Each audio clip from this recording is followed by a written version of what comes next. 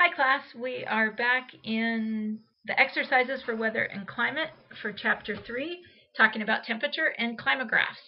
And I just wanted to show you some of the cool things in this uh, exercise animation to help you kind of think more about temperature controls on climate and how we can visualize that with these graphs called climographs.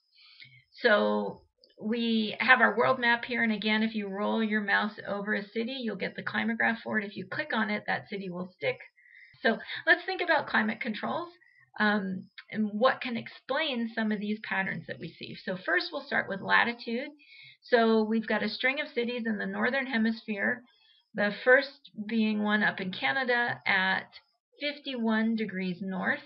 We have high annual temperature range from minus 20 degrees Celsius up to 15 degrees Celsius. So a 35 degrees Celsius annual temperature range. And then if we move down to Toronto, Canada, which is at 40, about 44 degrees north, you, you can see our temperatures move up. So we would expect as we move south, we're in the northern hemisphere, that our temperatures would increase. And now we're here, we're in Atlanta, summertime temperatures up to 25, winter temperatures now above freezing, Havana, Cuba, all the way up where the whole year is above 20, and then Panama City, now we're even warmer. So we can see a clear trend with latitude as we move south, the temperatures go up, which is exactly what we would expect after learning about heat energy in the last chapter. Now, another really important temperature control is uh, the proximity of a location to a large body of water.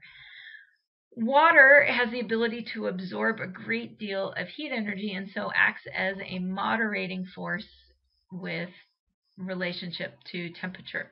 So if we look at Reykjavik, Iceland, and Yakutsk, Russia, which are both at about 62, 64 degrees north, um, what we see is that we have really different temperature patterns between these two locations.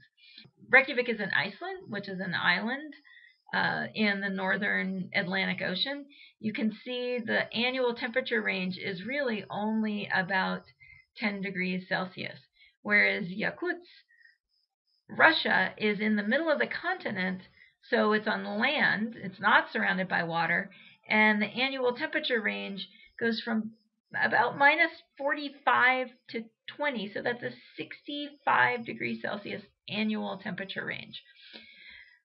So, why is that? Excellent question. Because land is going to heat and cool a lot faster and a lot more intensely than water. Water can absorb a lot more heat energy. Ocean currents move that heat energy away. What we see is a much larger seasonal temperature range in landlocked areas than in maritime environments like in Reykjavik. Okay, let's move on to our next example, which is we're going to move inland from Dublin, Ireland, now to Amsterdam.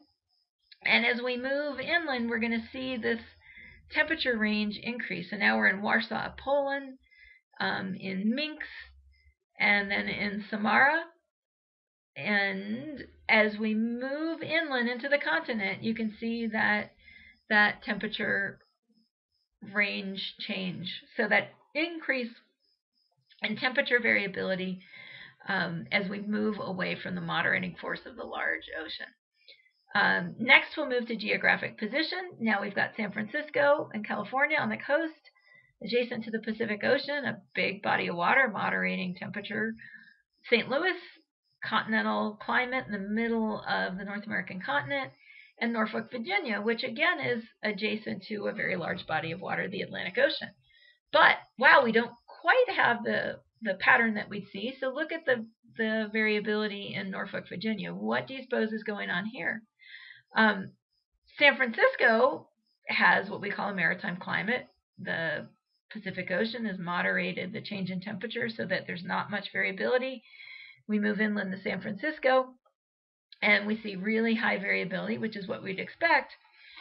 But what happens by the time we get to Norfolk is that because of the wind patterns across the North American continent, Norfolk actually has a climate that is not as much moderated by the Atlantic Ocean because our atmospheric circulation patterns are moving air from west to east across the North American continent.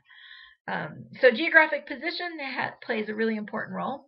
If we look at mountains, now we're in Colorado, which we you know we have a big elevation range in Colorado, a lot of relief, topographic relief. So we look at Evergreen, which has an elevation about 2,200 meters, Denver about 1,600 meters, and Evergreen's in yellow, Denver is in orange, and not surprisingly, Evergreen is cooler than Denver. As we go up in elevation, our temperature decreases. So this is our annual temperature looking from January through December, and we see Evergreen is cooler. If we look at daily temperature patterns, um, again, Evergreen is cooler. So I hope that helps understand some of these temperature controls. Please let me know if you have any questions.